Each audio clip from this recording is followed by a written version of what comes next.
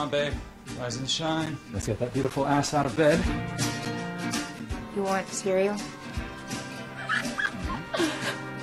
What's a tiger? Please get a room. Sorry.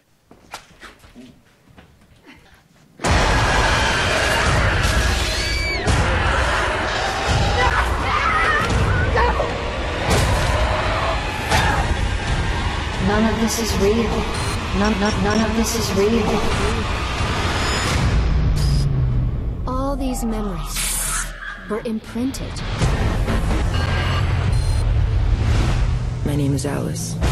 Alice, how nice to see you again. What the hell is going on here?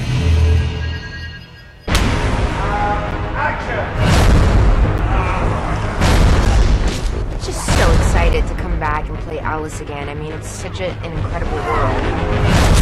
We've got some favorite characters of the fans coming in, so it's just gonna be bigger and better and just more badass. You haven't changed a bit. I don't know you, lady. I think the fans are definitely gonna expect me to kick ass and take names. I love the video game. I'm a video game fanatic. And I was like, there's gotta be something in there for me, please. I'm coming for you! Jill can do stuff now that she could not do before. Kicks and all these martial art things that, you know, she didn't know about before. And she loves fighting and she loves getting her fist dirty. The undead are constantly mutating. They can ride motorbikes, they can shoot machine guns, and I think that gives a whole new level of threat to the undead.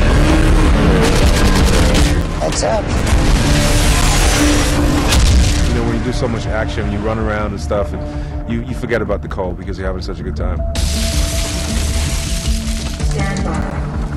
Lockdown sequence initialized. We have the undead in, in massive locations around the world. We have them in the centre of Tokyo, we have them in Red Square, Times Square. Kidding me. You know, this really is a global infection.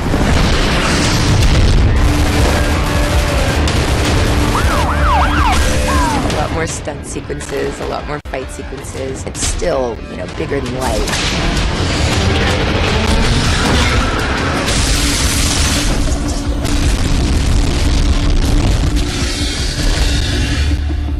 I mean, we want people to just leave the theater having a blast. I mean, that's the most important thing is for them to leave the theater going, yeah.